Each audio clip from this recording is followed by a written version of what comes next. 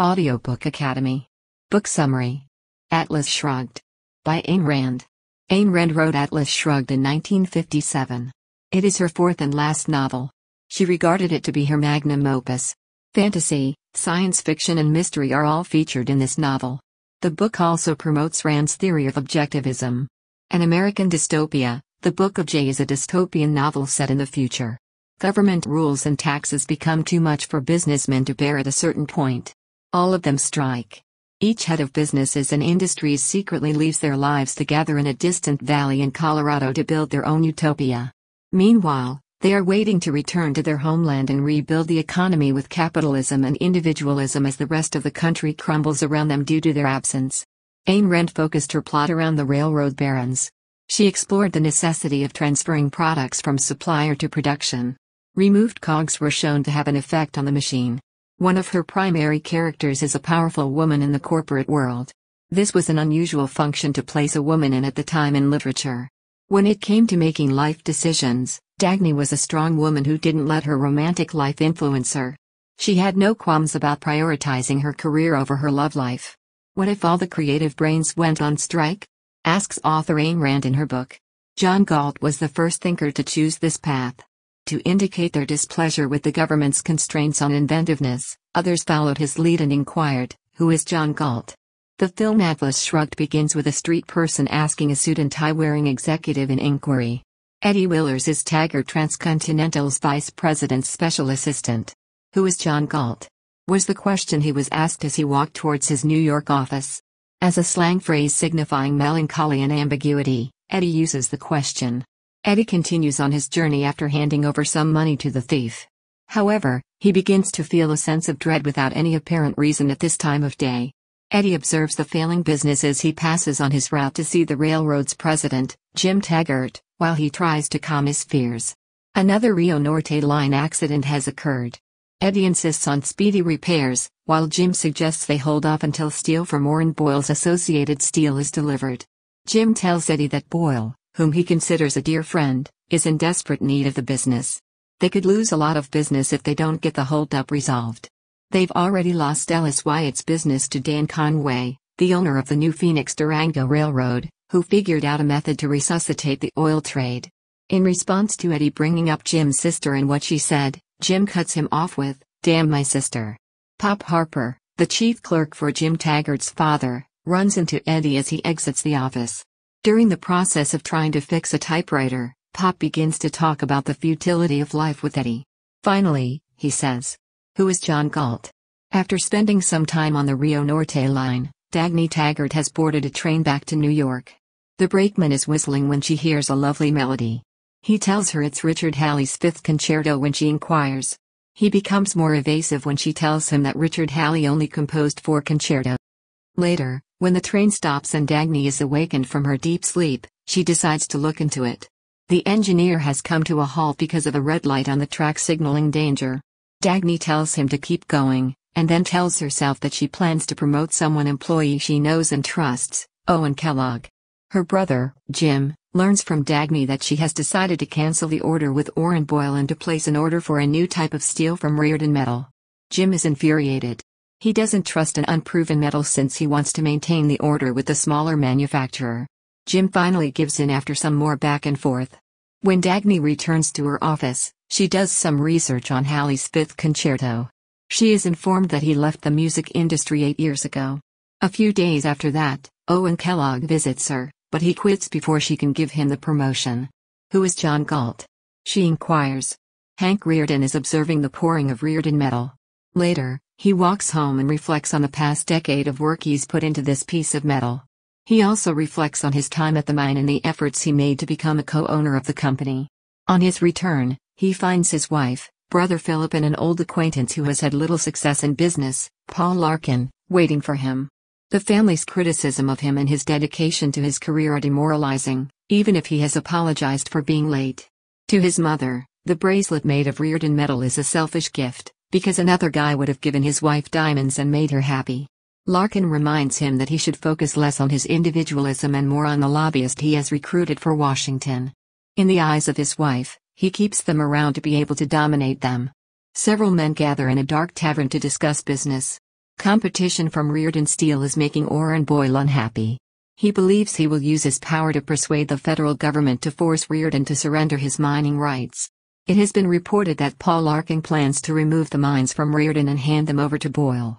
In order to reclaim control, Taggart wants Boyle to utilize the National Alliance of Railroads to force Dan Conway out of Colorado by threatening to sue him. Wesley Mouch, Rearden's lobbyist or guy in Washington. In exchange for his assistance in the fight against Rearden, Jim pledges to locate him a job in Washington, D.C. The topic shifts to Jim's train project in Mexico, the San Sebastian Line, which he built. Mexico is threatening to nationalize his line, but Boyle urges him not to worry about it. There are no new trains on that route. In the future, Jim confronts his sister about Mexico's train system's deterioration. Her reasoning for doing so is because Mexico is shortly going to nationalize the line. It was for the benefit of the Mexican people, and for the benefit of d'Anconia's copper mines, he claims. When Francisco d'Anconia becomes a playboy, she says, that stops him from generating copper. The Taggart cafeteria is where Eddie Willers has his lunch. Having sat down to converse with a grease-stained laborer, when it comes to rail decline and the global economy in general, he is a grouch. He has high hopes for the Dagny and the Rio Norte line, however. Dagny's personal life appears to be of interest to the stranger. The new contractor, McNamara, has resigned. When Eddie tells Dagny, he is unable to explain to her why or where the man has gone. Mexico has completed the nationalization of the railroad and copper mines. Jim takes credit for Dagny's initiative to remove equipment from Mexico before it was nationalized when he addresses the board of directors.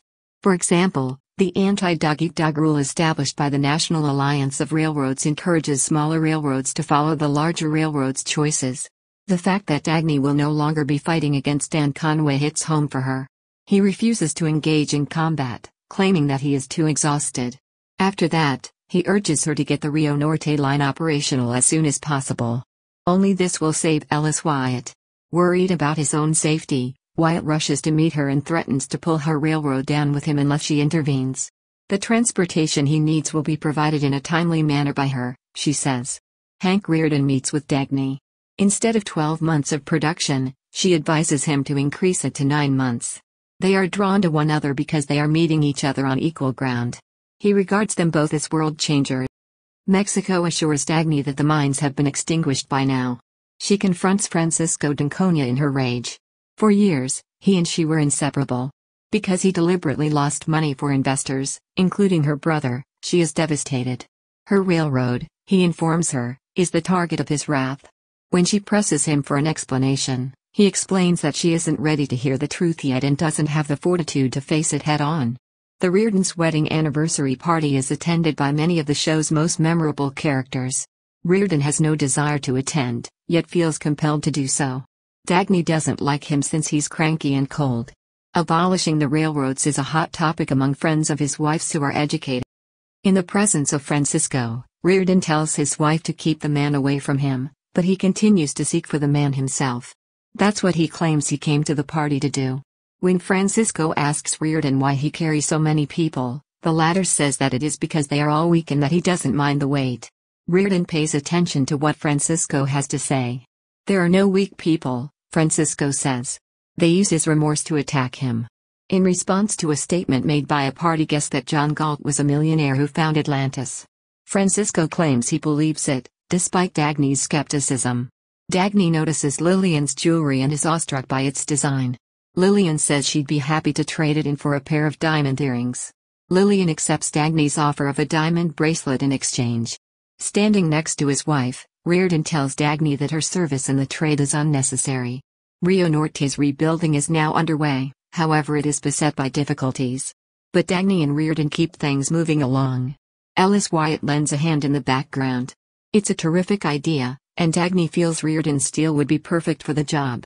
Dagny hears men moaning about the decline of morality in modern society while drinking a cup of coffee at a New York cafe. Who is John Galt? Is a common question. Apparently, a rogue claims to be an explorer who found the fabled source of eternal youth. The State Science Institute's Dr. Potter tries to buy the rights to Rearden's new metal so that he can shut down production, but Rearden refuses. Because of this, they issue a statement warning about the potential risks of his metal, without relying on any actual evidence.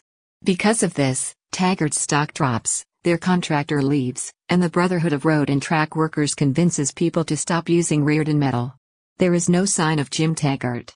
To learn more, Dagny heads to the State Science Institute in Albany, New York. In spite of Dr. Stadler's assurances that the metal is a significant discovery, the institution has refused to fund its further development since it hasn't been able to come up with a solution that is as effective. When Dagny comes across Jim, he's in a state of panic over the fate of his railroad business. Dagny proposes to leave Taggart's and form her own company to finish the task because everyone is terrified of utilizing Rearden metal. Once she's satisfied showing off the metal works, she'll head back to Taggart's and build the railroad. The John Galt Line is the name she intends to give her new business. The Colorado industrialists in Rearden helped Dagny locate investors for her new venture. The Equal Opportunity Act is passed by the legislature.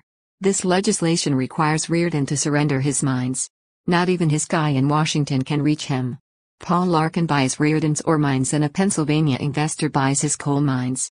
So that Taggart's business can last long enough to be his long-term customer, he utilizes the money to help him out. The John Galt line debuts and is a big hit with passengers. The bridge made of Rearden's metal is also quite sturdy. When something good happens, people are happy and upbeat about the future. Dagny and Rearden become inseparable.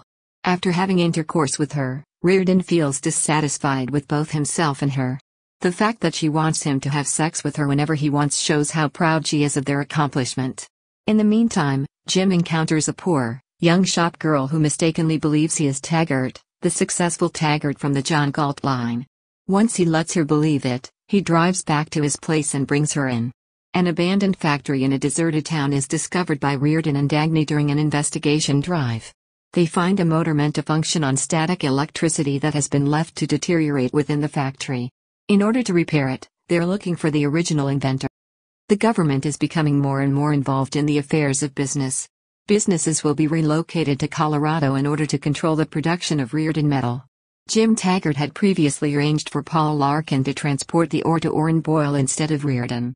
Using unlawful agreements, Rearden acquires the ore he was compelled to sell to Larkin from his own mines. Dagny is still on the prowl for the motor's creator. She learns that the plant was shut down due to poor management. Francisco's mines went bankrupt because of the same strategy. People are compensated according to their needs, not their earnings, and those who work the hardest help those who don't. She finally reaches a man she believes to be connected to the inventor. Hugh Akston, a renowned philosopher who is now working as a cook in a diner, appears. Cigarettes with cash signs on them are given to her by him. He knows the inventor, but he refuses to reveal her name. Dagny is in New York and learns about all the measures that harm the major firms. They are also charging Colorado at a higher rate than other states. Dagny discovers Ellis Wyatt has vanished after burning his oil fields in Colorado. I'm going to leave it how I found it. Thank you. Dear thing. It's all yours now, baby. Part 2 Either, or. Industrialists in Colorado have begun to disappear as the state's economy continues to decline. The supply of oil and coal decreases as their producers disappear.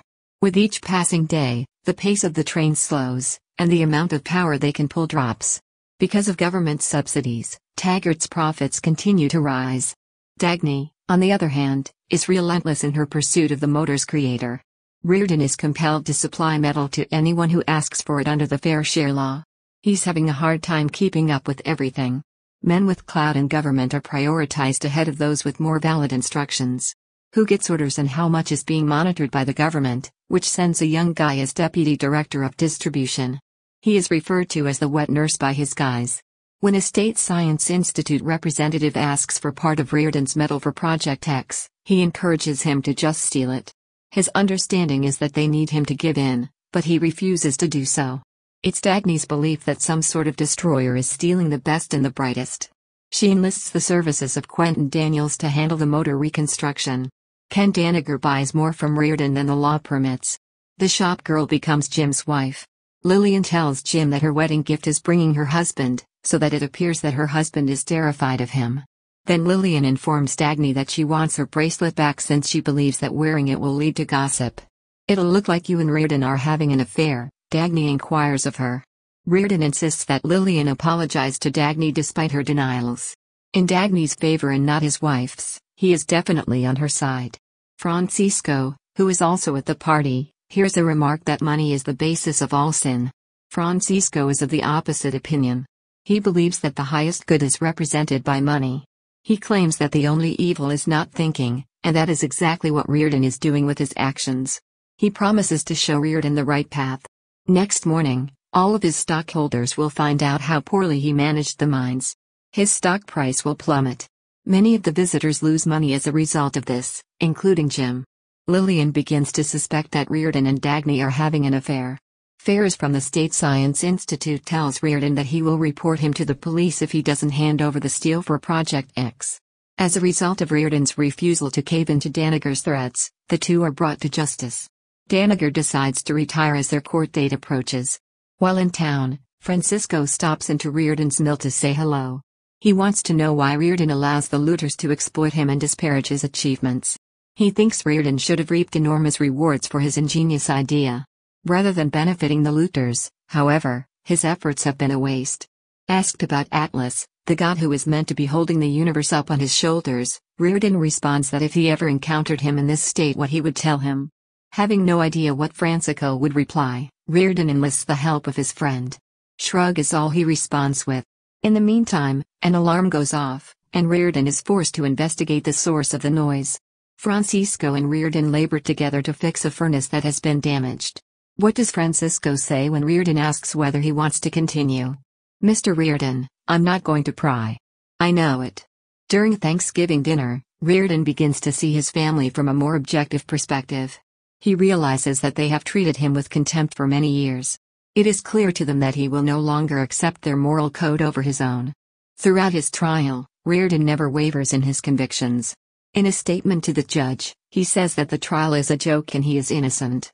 He created the metal and will not feel bad about profiting from it. Especially when he is greeted with applause from the public, the judges have no recourse. They fine him $5,000 and dismiss the charges. While staying in San Francisco, Rearden pays a visit to Francisco from his hotel room.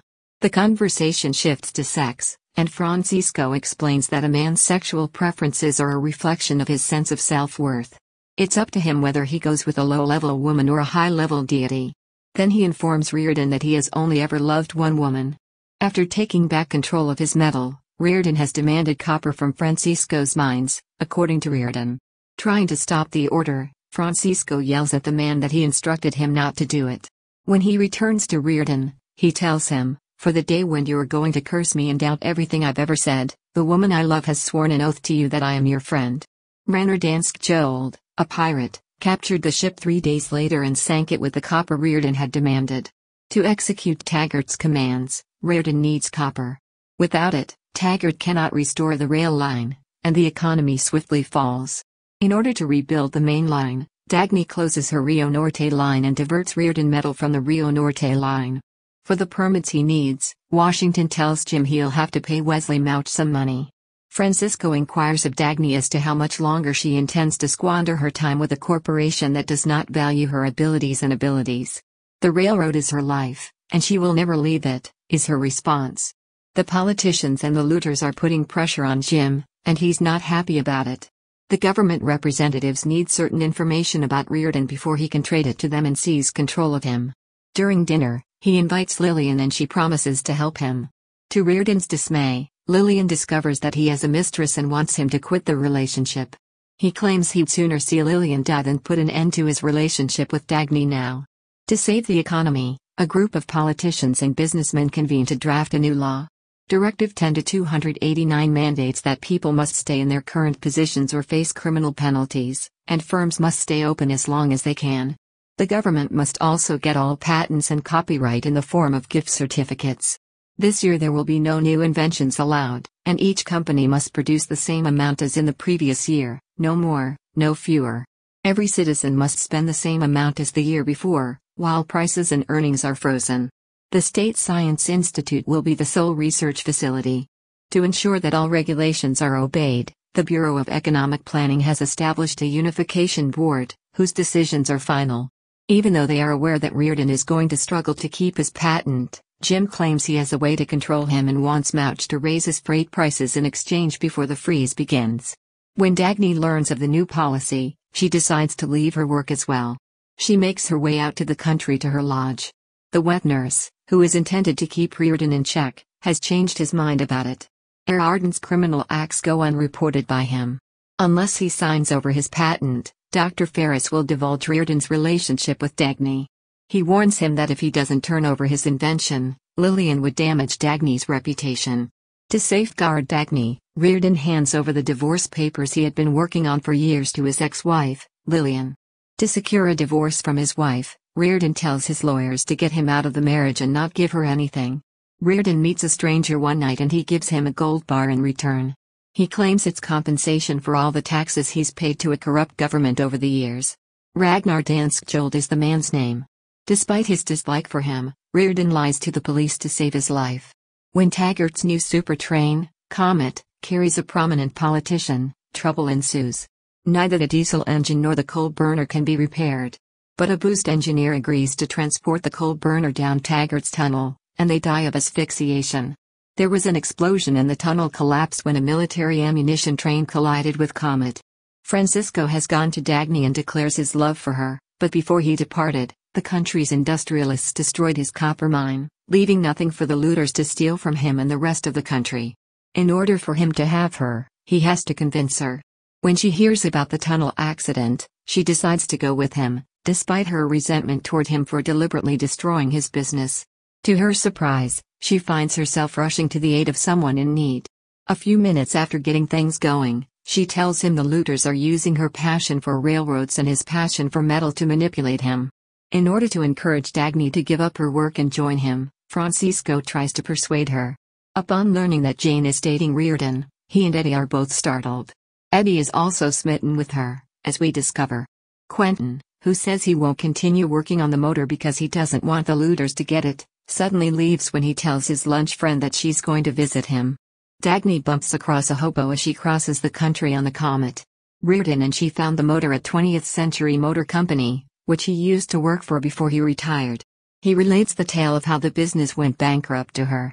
Some employees received promotions while others faced punishments for their hard work, such as being made to work longer hours. They figured out how to play the system. It was stated that John Galt was the first individual to walk away from the company.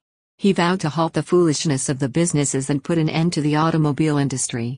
As a result, when the factories began to close, everyone blamed him. John Galt's name was mentioned in this context.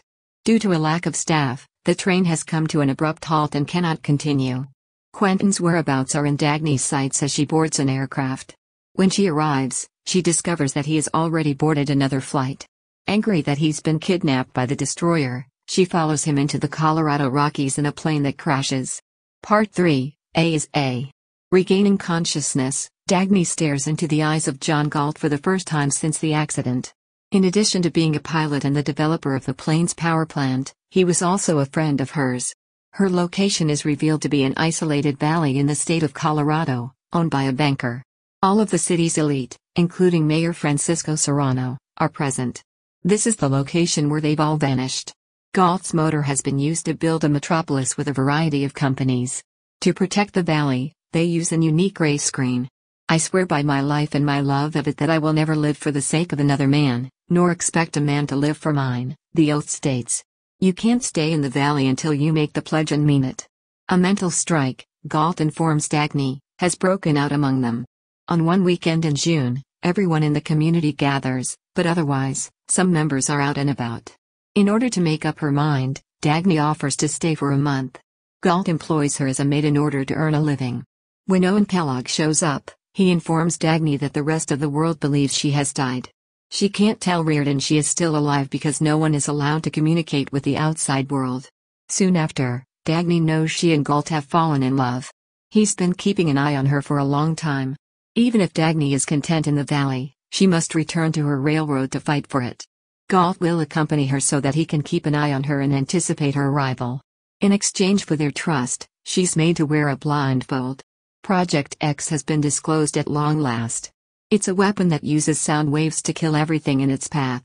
The population is getting increasingly difficult to manage, according to Dr. Ferris. It's an instrument of peace, according to Mouch. It is revealed that the Railroad Unification Bill has been signed into law. Among the railroads, the one with the most track is expected to reap the greatest part of the earnings. This makes Taggart's railroad the most profitable because he owns the most track. As a favor to powerful allies, trains are redirected.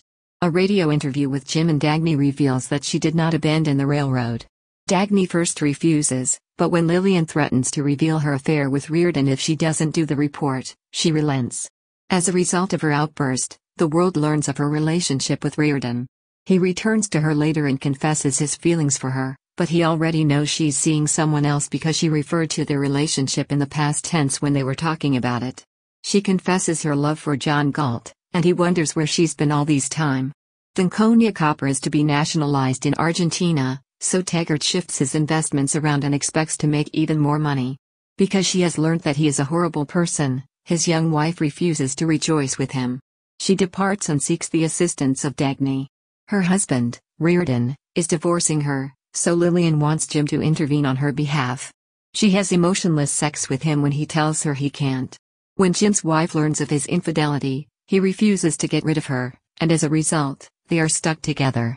To him, she was worthless and would love him, but to her, his marriage was an attempt to ruin the hope she had of getting herself out of the ghetto. After he slaps her, she runs into a social worker who accuses her of being selfish for her troubles. She plunges to her death from a bridge after jumping out of it. The country is on the verge of disintegrating. A wheat crop in Minnesota is allowed to waste because the wealthy and powerful divert trains for their own benefit, while people in poorer areas suffer hungry. Copper mines are destroyed, and farming firms fail, thus output is halted. Dagny comes face to face with Galt while attempting to solve yet another train-related issue. He warns her not to go looking for her because doing so could result in his death. Every day, the government tightens its grip on Rearden's enterprise. He has been accused of filing bogus taxes. Unlike other industrialists, his family tells him he can't go away like that because he doesn't have money. At this point, he begins to see why his business has been struggling. Rearden has come to terms with Taggart, Mouch, and Boyle's strategy of keeping him on the payroll while they make money off of him.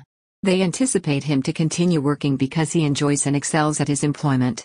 At Rearden's mill, a disturbance has broken out. Francisco, who has been working at the site since he destroyed d'Anconia copper, saves Rearden from attack. It is because the wet nurse refuses to aid the rioters that Rearden is killed. Rearden has vanished. Steel production is nearly at a standstill. Fear grips the land and gang warfare erupts. Society is disintegrating, despite what the media portrays. As a means of calming the public, newspapers issue statements. Galt interrupts the head of state's broadcast to address the problem.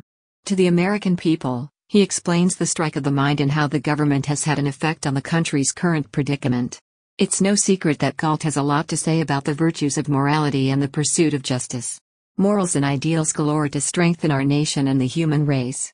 Reclaiming the concept of objective reality is something that he encourages people to do instead of avoiding. Following the broadcast, the hunt for Galt became even more intense. Because of her worries, Dagny runs to him. In order to avoid being exploited as a tool by him, she is told she must act as though he is her enemy. Attempts to persuade Galt to join them in a dictatorship are unsuccessful. They force him to do things under duress, but he refuses to do them in his mind. According to the media, he's working for the government, but he is not. On television, he raises the gun to his head and points it towards the camera.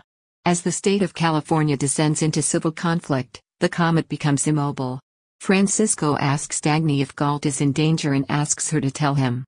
It's clear to Dr. Stadler that he can't get Galt on board with him, and the only way he can save his position is to take over Project X. An additional crook is already on the loose, Cuffy Meigs. Once it's been fought over and set off, the carnage may be felt for miles around. Washington's decision makers are at their wits' end. Dr. Ferris has an idea for how to punish Galt, torture. Dagny finally phones Francisco after hearing about this. The Taggart Bridge was demolished by the blast as she was leaving to meet him. The first time she puts love before career, she says yes. In a conversation with Francisco, she informs him that she is prepared to go on strike and swear an oath. Electrodes are used to inflict pain on Galt. When Galt tells Dr. Ferris about his hidden plans to rule the world as an economic dictator, he intends to continue torturing him. A malfunctioning equipment causes the operator to realize that he is responsible for it, and he runs out of the room. When Jim realizes he is a terrorist, he yells and falls to the ground, determined to stop Galt at all costs. In order to save Galt, Dagny and Rearden rescued Francisco and Danneskjöld. Then they flee to Colorado in Francisco's jet. The comet, meanwhile, has broken down in the desert. Eddie refuses to leave the train, even when the passengers are saved by a convoy of covered wagons. After the collapse of the economy, the valley's industrialists are ready to return to the outside world and begin the process of rebuilding. They want to start over with a new set of ethical standards. Characters Early feminist Dagny Taggart. Dagny is Taggart Transcontinental's vice president and the sister of the company's owner. She has worked hard to earn her place in the organization and is its linchpin. Despite the fact that her brother is dishonest and cunning, she maintains a strong work ethic. The problem is that she prioritizes work above all else. Dagny is the first person everyone turns to when there is an issue at work. She has a good reputation for being dependable and fair with her staff. A blow to feminists, but indicative of the time era the book was written in. She never stands up for herself when her brother takes advantage of her efforts. Her affair with a married man goes unpunished, and then she falls in love with Galt, who is married. She, on the other hand, does not allow her romantic connections to control her life decisions. He's a steel baron and a genius, all rolled into one. Hank creates a new type of steel that is superior in quality to what is already available.